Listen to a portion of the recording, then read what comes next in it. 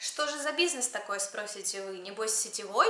Историю рассказать, чтобы вам вообще было понятно, как, как вообще мы тут существуем. Интернет-магнаты из Сибири мали все, скажем так, аспекты, на что мы можем тратить, которым мы будем зарабатывать миллионы и жить только от того, что Всем привет, дорогие друзья! Меня зовут Вероника, вы на моем канале Вы Туда ТВ. Сегодня я хочу еще отдельный привет послать тем, кто пришел ко мне на канал, моим новым подписчикам, которые пришли ко мне по видео 7 минусов жизни в Таиланде. Я очень рада вас видеть, добро пожаловать на мой канал и надеюсь буду для вас снимать еще более интересные видео. Я точно знаю, какие есть минусы жизни в Таиланде и почему здесь жить долго нельзя. Веселое видео получилось, особо, особенно интересные комментарии. И как раз сегодняшнее видео я решила напис... Э, записать на основе этих комментариев. В принципе, людей в основном, а, когда они смотрят такие видео, там, о переезде куда-то, интересуют два вопроса. Это первый, сколько же вы тратите на жизнь, и второй, как вы зарабатываете. Особенно много комментариев на тему, как мы зарабатываем, были под этим видео. Его уже 7 минусов жизни в Таиланде, его уже посмотрело около 60 тысяч человек. Поэтому сегодня я как раз раскрою эти две темы. И, конечно же, хочу коснуться наших принципов заработка, принципов сохранения денег. Еще хотела сказать, что 5 лет назад, когда мы приехали в Таиланд, мы сразу с первых дней, даже еще до того, как поехали в Таиланд, а только туда засобирались, стали вести свой текстовый блог, который называется waytotai.ru. Ссылочка внизу, конечно же. И там мы с самого начала решили а, выкладывать все свои расходы, которые мы тратим в Таиланде. И у нас там был такой раздел, сейчас он закрыт а, на сайте, не знаю, почему Дима его закрыл, я его прошу его открыть, вот, но я взяла ссылочку на него, на этот раздел, и вы можете там посмотреть, а, правда, это не те траты, которые мы сейчас с ребенком, да, тратим, а еще те, когда мы были вдвоем, и мы там записывали прям каждый, вот сходили в кафе, записали, там, потратили на что-то денежку, ходили в магазин, куда-то там попутешествовали, мы прям все-все-все, каждую-каждую трату записывали, и там на самом деле прям вот э, еще даже всякие графики есть, вы можете посмотреть четко, какие продукты. В принципе, цены в Таиланде с годами не меняются, поэтому смело можете ориентироваться на эти расходы, а, на жизнь, которую мы тогда вели. Итак, начнем. И первое, с чего мы начнем, это сколько мы тратим на жизнь в Таиланде в данный момент. Для меня это очень интересная, актуальная тема. Я хочу это, так сказать, сохранить видео, сохранить для потомков, так как в скором времени мы планируем переехать в другую страну.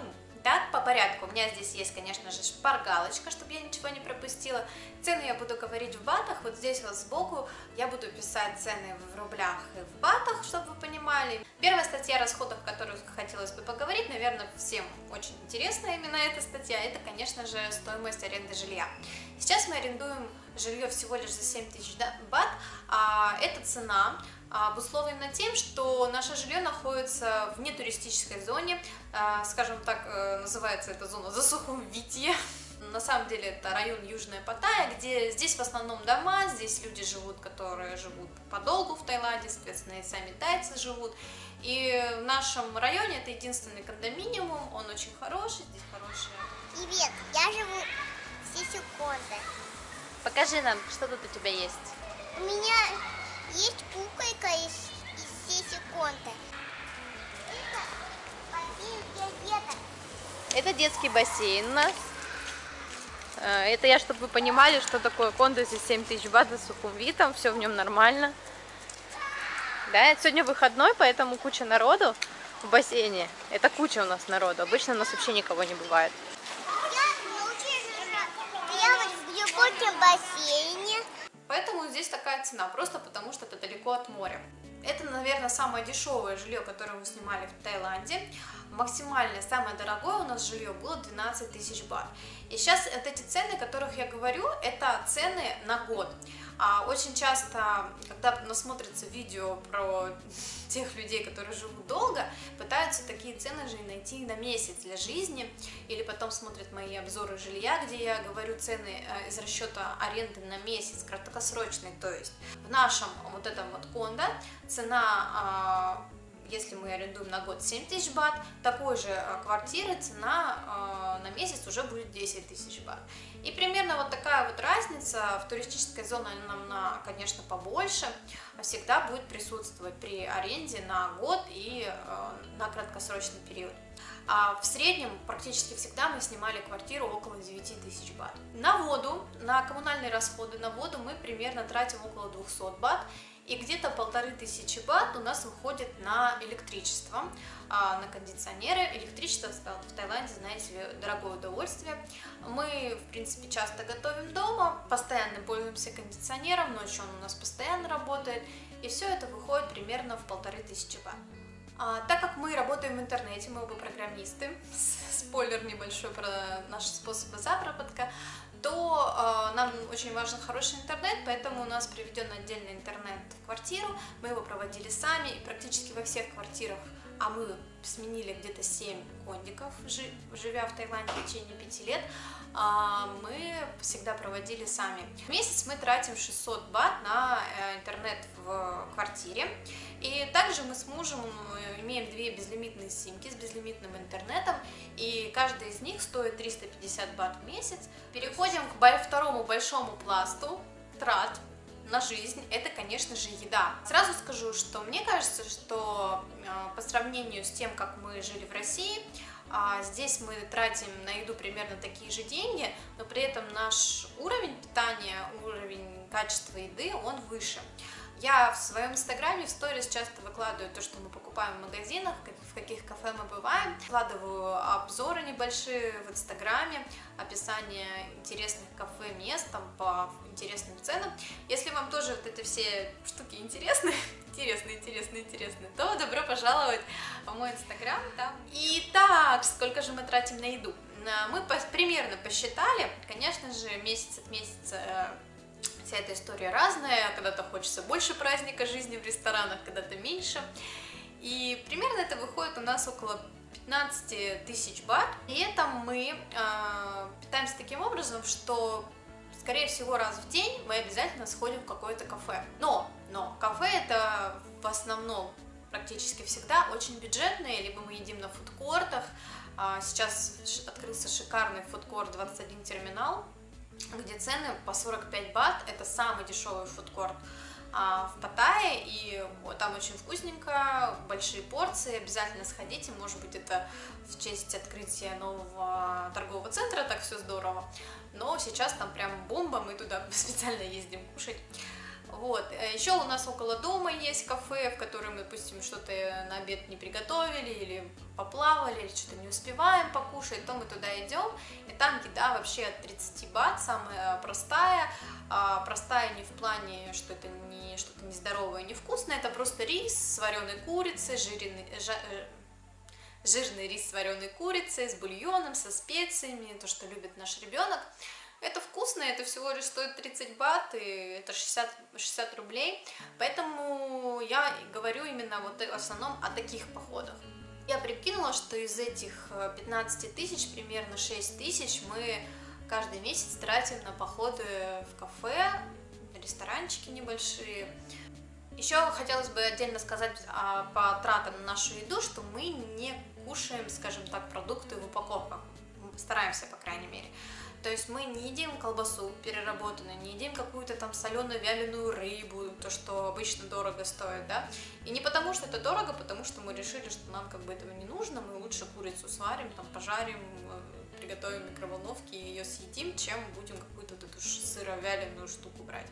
У меня остается одна слабость, это кофе, так как, опять же, я не ем сладкого, то для меня кофе это как такой праздник, как такое успокоение, награждение себя за труды тяжелого трудового дня. В среднем я покупаю чашку кофе 50 бат. Так что в месяц выходит практически 800 бат только на мой кофе, так что приплюсуем это, конечно же, в расходы на жизнь в Таиланде. Так как мы живем за городом, за Сухумвитом и любим путешествовать, и вообще любим поездки далеко за Паттайей, то э, чтобы нам было комфортнее жить, мы решили купить в Таиланде машину. Стоила она 290 тысяч бат, скажем так, единоразовый платеж, и на бензин у нас в месяц выходит где-то 2400 э, бат. Это мне так муж сказал, примерно это 28 литров мы тратим. А если мы говорим о транспорте, которым мы раньше пользовались, то байк мы арендовывали где-то от полутора тысяч бат, в зависимости от а, срока его использования. Арендовывали за 2000 бат даже PCX. В среднем PCX э, в Паттайе стоит около 2500 э, бат при аренде на 3 месяца. PCX такой большой байк, ну, если кто не знает, да? Если вы хотите арендовать машину в Таиланде, если вы приехали на 3 месяца, может быть, например, на полгода, то аренда машины выйдет где-то от 10 до 14 тысяч э, бат в месяц в зависимости от ее класса. Да? Значит, приплюсуем к нашей стоимости жизни в Таиланде еще 500 бат на такие расходы, как мотобайк, такси, тук-туки, когда я езжу одна, без ребенка и без мужа. Также интересная статья расходов в Таиланде это стирка.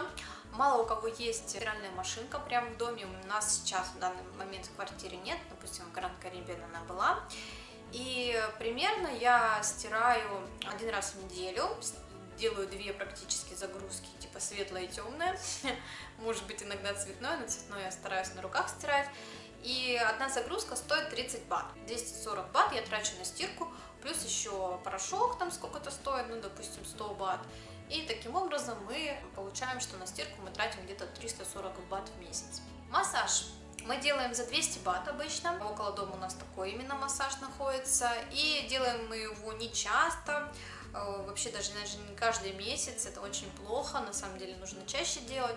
Поэтому если учесть, что у нас двое, и, кстати, бюджет я считаю на двоих, дописываем сюда еще 600 бат. Так как Дима занимается активно спортом, он у меня триатлонист, то обязательное мероприятие для него каждую неделю это сходить в баню.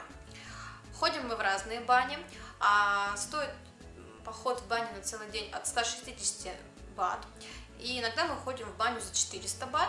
Если посчитать плюс-минус, а, он в месяц ходит а, в баню где-то 4 раза, я не часто хожу в баню, то выделим на походы в баню 1000 бат в месяц. Так, а еще одна статья расходов, которую бы хотела выделить, это, конечно же, для дам походы различные к парикмахеру, косметологу, различные салонные процедуры. А, если вам интересна стоимость их, я вам сейчас расскажу. Значит, я стригусь за 550 бат. Это тайский салон, находящийся в самом большом торговом центре. Ой, он уже не самый большой. А, в Централ фестивале, который находится на набережной. А, хороший салон, очень качественный, стоит э, там стрижка 550 бат, это с э, сушкой, с помывкой головы, вот за все 550 бат. Причем это мне стрижет не скажем так, не подмастерье, не новичок, а один из ведущих э, специалистов этого салона. То маникюр, педикюр, гель-лак здесь примерно в тайских салонах стоит около 1200 бат. Примерно так же и у русских девочек на дому, но хочу отметить то, что все-таки русские девочки, они делают лучше, а, скажем так, привычнее нам, потому что тайские мастера, они не, скажем так, не так э, тщательно а, вырисовывают все эти гель-лаковые штуки, не так тщательно закладывают лак под э, кутикулу. Сейчас мужчины могут это не, слушать, да? Но те девушки, которые привыкли к тем стандартам, которые есть в России по поводу маникюра и педикюра, вам не понравится то, что делают тайцы. Так что в этом случае обычно все обращаются к русским мастерам. Я тоже ходила к русской девочке, сейчас она, к сожалению, уехала, и мне надо что-то с этим придумать. Далее, у нас есть замечательная дочка Алиса, которой практически 4 года, и мы, конечно же, много тратим на то, чтобы ее развлекать, ее каким-то образом развивать. И э, я хочу тоже внести эти траты, наши расходы на жизнь в Таиланде, чтобы вы, в принципе, понимали все, скажем так, аспекты, на что мы можем тратить. Так, Алиса у нас ходила в школу. Сейчас она на данный момент записи видео туда не ходит. А, почему? Это уже тема другая. А, в основном из-за здоровья. Школа ее стоила где-то 88 500 в год. То есть э, один семестр стоил 40 5, 40 э, тысяч бат, 5 тысяч бат стоил взнос в эту школу, и 3,5 тысячи бат мы платили за форму, за там, рюкзак. Сейчас мы на нее не тратимся, повторюсь, но у нас э, дочка ходит в различные кружки. Значит, она ходит на гимнастику, которая ведется на английском языке, но при этом русский преподаватель это стоит 2000 бат в месяц. Она ходит на занятия по математике, а это стоит 1500 бат в месяц. Также она ходит э, на занятия по английскому. Э, посчитаю, напишу вам стоимость в месяц, я сейчас что-то не посчитала. Еще мы часто ходим, э, примерно раз в неделю мы обязательно ходим в какую-нибудь игровую комнату, типа кит-зоны. И это тоже стоит около 300, ну, выделим на это примерно 300 бат. Итак, я думаю, что на этом все. Я осветила основные все расходы на нашу жизнь в Таиланде. Конечно же, есть куча всяких типа хозяйственных нужд, кремов, мелкого какого-то ремонта. Но чтобы вам ориентироваться, я думаю, вполне достаточно той информации, которую я рассказала. Если вас еще интересует конкретная какая-то цифра, на что мы, насколько, на что мы тратим, то напишите обязательно в комментариях, я вам э, на это обязательно отвечу.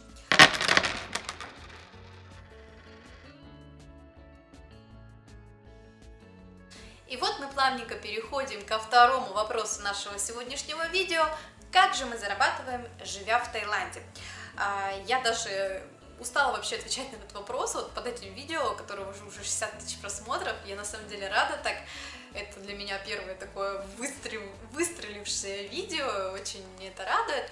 И там каждый третий комментарий это вопрос о том, как же мы работаем, а, как же мы зарабатываем, не работая в Таиланде. Я там сказала в этом видео, что, я, что мы не работаем в Таиланде, и все решили, что мы вообще не работаем. На самом деле это не так, конечно же, откуда бы у нас тогда были деньги спросите вы.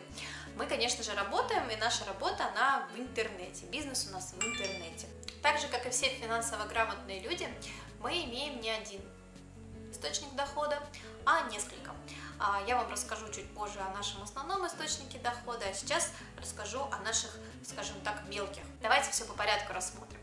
Значит, у нас есть акции, в них мы храним наши сбережения, то есть у нас не депозитные счета, а практически все э, депозитные наши деньги, наши накопления переведены в акции. Что касается моей деятельности вот этой вот блогерской, то, к сожалению, она мне, можно сказать, ничего не приносит. Если говорить о доходах с YouTube, э, с прямой рекламы на YouTube, то сейчас она составляет 30 долларов в месяц. А, конечно, у меня есть небольшие договоренности по рекламе, но это тоже очень очень-очень мало и никаким образом не скажем так, не оправдывают мои затраты. Поэтому это мое любимое хобби, и я надеюсь, вам нравится то, что я делаю. Если нравится, то поставьте лайк, у меня будет больше а, желания с вами вот так вот общаться через камеру. Поэтому, потому что это мое хобби, как бы, чтобы не заржаветь, я вот этим всем занимаюсь. Что же за бизнес такой, спросите вы? Небось сетевой? Мне одна девушка написала, у меня было написано в профиле в Инстаграме, в шапке а, интернет-магнаты из Сибири. Мне одна девочка сказала, что вы, наверное, менеджер НЛ или вообще какие-нибудь БАДы продаете. Вот, на самом деле это, конечно же, не так. И хочу вам немножко предысторию рассказать, чтобы вам вообще было понятно, как, как вообще мы тут существуем. А, мы с Димой, с моим мужем, оба программисты. У нас такая профессия, мы ее заработали в институте. Э, я, скажем так, не совсем программист, я проектировщик информационных систем, технический писатель, бизнес-аналитик. А, про то, кем я работала, как, где, как там находила новые должности, я записывала два больших видео, на них я оставлю ссылку внизу. А, если кому-то интересна тема заработка удаленного через интернет и вообще интернет-профессии, работы, да, а, в интернет-сфере, то я думаю, это видео будет для вас актуальным. Итак, вернемся на 5 лет назад. Мы с Димой приехали в Таиланд, э, уже имея удаленную работу. У нас были клиенты, и мы работали на них, у нас были задачи, у нас были руководители. Мы так прекрасненько работали, хорошо, в принципе, зарабатывали а, на свою жизнь для двоих человек в Таиланде. А, но всегда грезили мечтой, что наш текстовый блог выйдутай.ру станет великим блогом, на котором мы будем зарабатывать миллионы и жить только от того, что а, дарить вам полезную информацию, а вы будете кликать на рекламу и дарить тем самым нам деньги за эту полезную информацию. И мы надеялись, что вот так все и будет, и мы будем жить только на заработке с нашего текстового блога. Поэтому мы его, как я уже сказала, завели сразу а, после того момента, как решили переехать в Таиланд и активно на него писали. Он нам на самом деле стал приносить деньги, И когда мы занимались своим блогом, то мы, скажем так, разбирались в теме продвижения сайтов в интернете, а, всяких разных партнерских программ. И в итоге пришли к тому, что мы а, стали зарабатывать э, через три года, да, после того, как мы начали этим заниматься, мы стали зарабатывать на информационных сайтах. Я думаю, все вы видели эти сайты. Когда вы забиваете какой-то запрос в интернете, то вы попадаете на один из информационных сайтов, который отвечает на ваш вопрос. Может быть, это будет вопрос косметологии, вопрос какой-то юридической сферы и вообще чего угодно. А, вам откроется информационный сайт с ответом на этот вопрос. Именно такие сайты мы делаем. А, мы их э, выделяем темы, которые интересны людям, определяем ниши, создаем у нас несколько сайтов различных тематик. А мы на этих сайтах программируем какие-то полезные сервисы, калькуляторы с расчетами каких-нибудь э, налогов, может быть, каких-то задолженностей, некие полезные информационные сервисы для людей, где они читают информацию, кликают на ту же рекламу, и с этого мы получаем деньги. Сейчас же наш доход, благодаря нашим текущим э, знаниям, текущим нашим сайтам, достигает 400 тысяч рублей в месяц, уже более 400 тысяч рублей. А при этом мы планируем, что не расширяя количество сайтов, именно с этих же сайтов, мы в скором времени дорастем до миллиона рублей в месяц.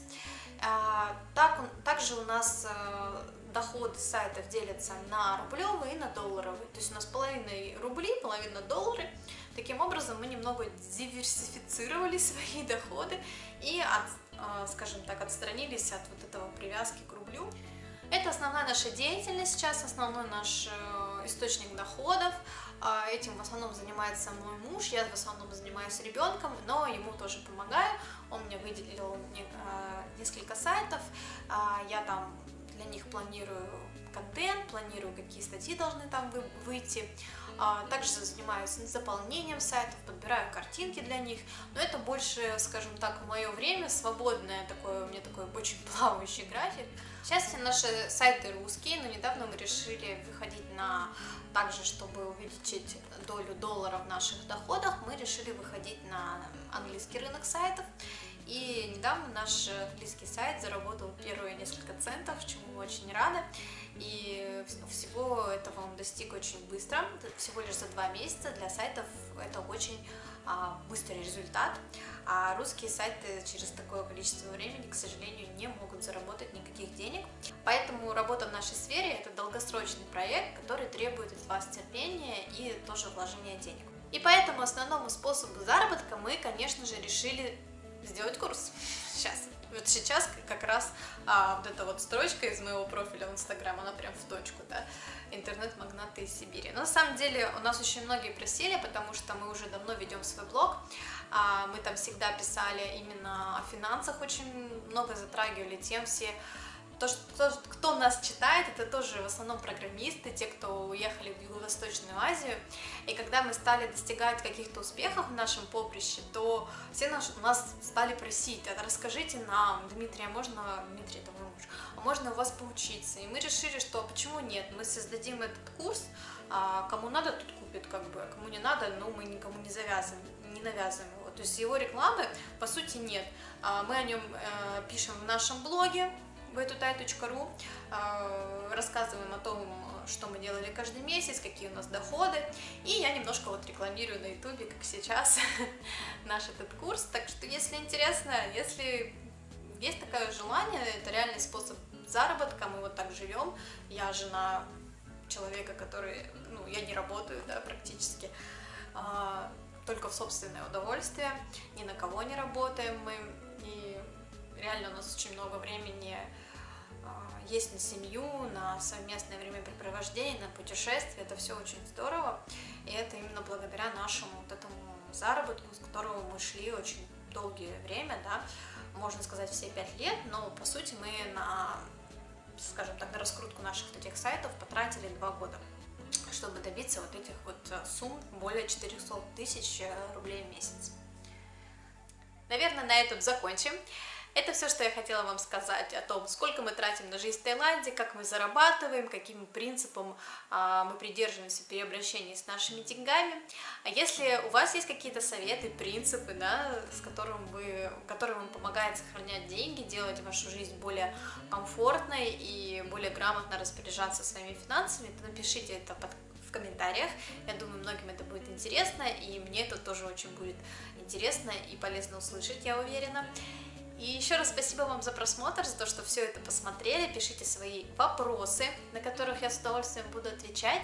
И увидимся с вами в новых видео, в новых влогах о наших путешествиях. Как я говорила, у меня еще много-много чего есть для вас выложить. В скором времени мы поедем на Пхукет, на первые серьезные зимние соревнования по триатлону. А, это Лагуна Пхукет, легендарные, на самом деле, а, соревнования по триатлону, которые входят в десятку там, необходимых для посещения каждому триатлонисту в мире а, вот этих вот соревнований. Мы туда едем, едем мы уже в этот четверг, через неделю, чуть меньше даже недели, и оттуда я запишу вам свеженький влог о Пхукете. Будем... Так что, если вам все это интересно, то оставайтесь со мной, подписывайтесь на канал, ставьте лайки, нажимайте на колокольчик, чтобы я вам все время часто э, виделась в уведомлениях, и я буду стараться чаще выпускать для вас видео. Жду вас в своем инстаграме. Все, пока, до встречи!